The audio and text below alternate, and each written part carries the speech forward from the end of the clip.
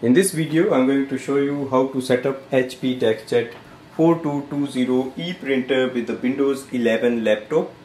This is the wireless setup using Home or Office Wi-Fi network. First step is to go to the printer display panel.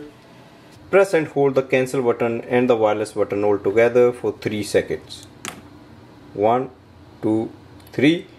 Once the power light flashes, you release it and the wireless light will start to flash. That means printer is ready for the setup. Now go to your windows 11 laptop. In windows 11 you have to download the hp smart app.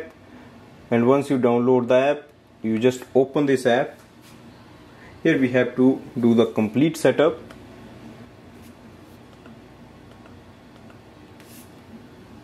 On the main screen of the app we have to click on the add new printer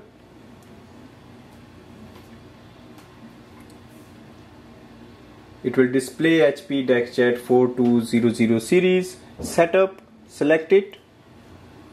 Click continue.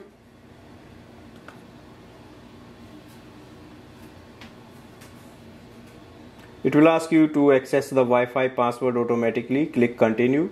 And make sure your laptop is already connected to the home Wi-Fi network Press the flashing information button on the printer control panel that is the I button with the white light flashing. Printer is connected to the Wi-Fi network. Click continue.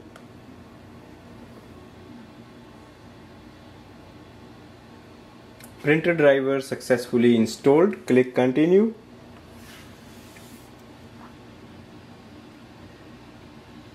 You can see our printer with the estimated level of ink and through this app we can do the printing and scanning.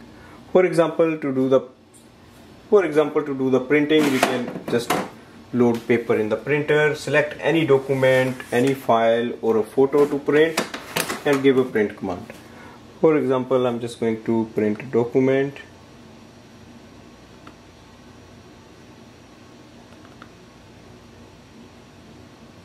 on this screen we have to select the printer so that is HP DeskJet 4200 series. Once we are ready we can just click on the print icon. Let's check if printer is really working or not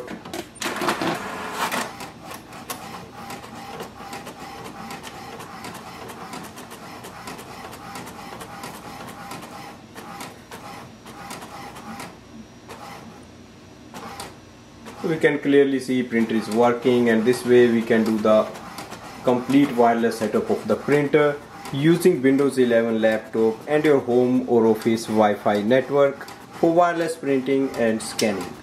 Thanks for watching.